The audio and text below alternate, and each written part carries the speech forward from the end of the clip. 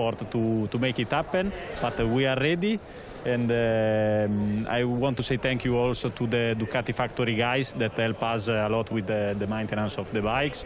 And uh, so we are a fantastic group uh, and uh, we are really proud of them.